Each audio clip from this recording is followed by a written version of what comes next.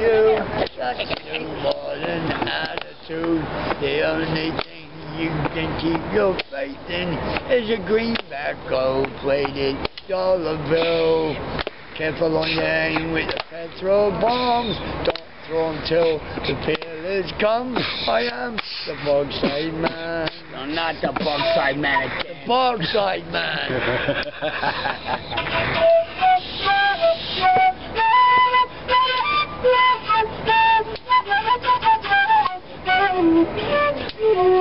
Yeah.